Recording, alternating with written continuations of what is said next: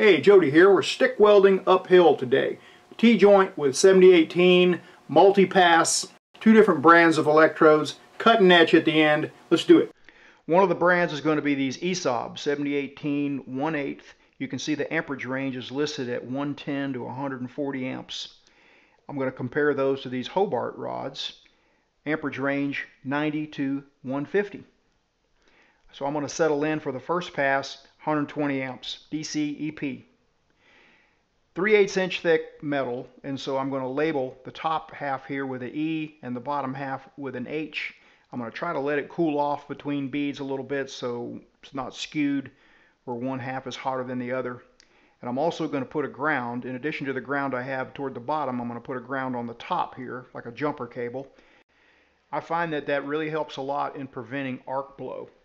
Sometimes you get it no matter what, but I've found that having that extra ground there, so you have a ground at the beginning and a ground at the end, it just seems to help a lot. So before we take a look at some close-up arc shots, let's talk about rod angle a little bit.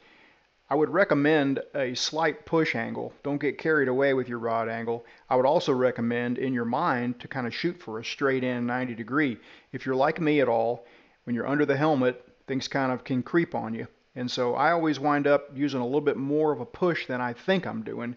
So if I start off with a 90 degree angle, I usually wind up with only a slight push and that usually works. So let's speed this up for the remainder of this half of the joint. We'll chuck up a Hobart rod now and weld the bottom half and then take a look at it. I generally prefer to use both hands when I can, but I'm just getting a little practice one-handed here, so I'm just kind of bracing myself with one hand on the pole where the T-joint is attached to. And then I'm just trying to hold the other hand as, as steady as I possibly can. In my mind, on a stringer like this, I'm making tiny little overlapping triangles. I find that kind of helps me to gauge how, how fast I'm going with my travel speed and to keep my travel speed even, but you don't have to do anything. In fact, there are some welding procedures that basically state little or no electrode manipulation allowed. So when stringer beads are required, sometimes there's a limit on the width. Sometimes there's not. Sometimes there's no requirement for stringers or weave. But I'm doing stringers today because sometimes stringers are required. So that's not like night and day. However, I would have to say the Hobart looks just a little smoother than the ESAB, and I think it could easily be me. I really suspect that the ESAB needs a few more amps.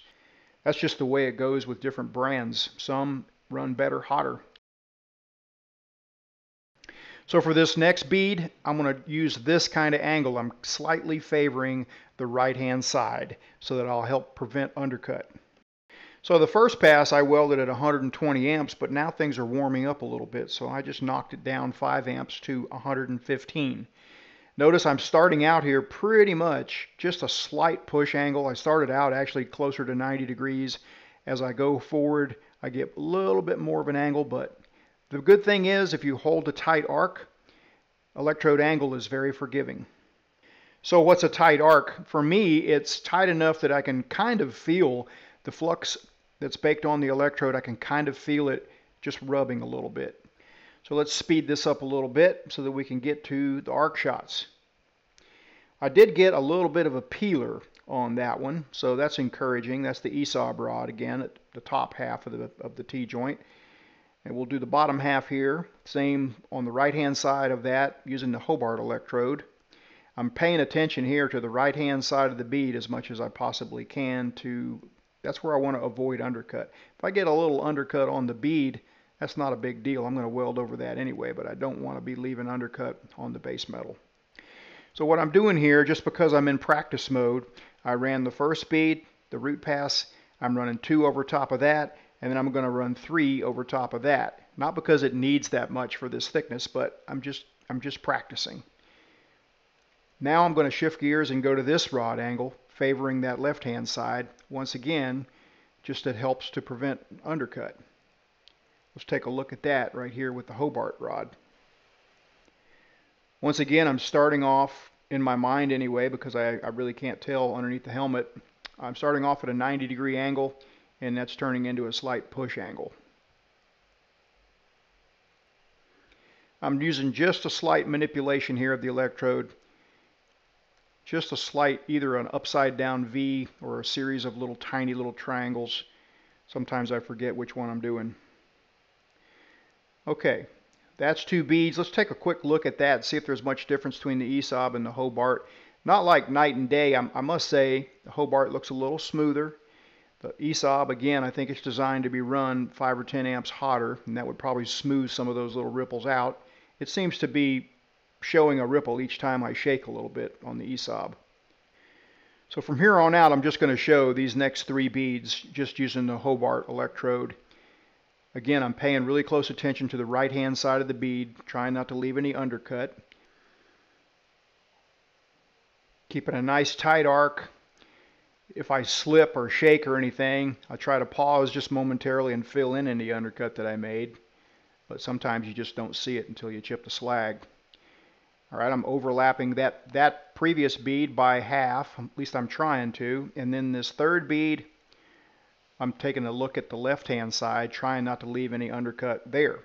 And of course, it does help to have the mill scale cleaned off to prevent undercut. Yes, stick rod will definitely burn through mill scale, but you're a whole lot likelier to have undercut if you have mill scale on there. So there's the ESAB rod at the top. There's the Hobart on the bottom.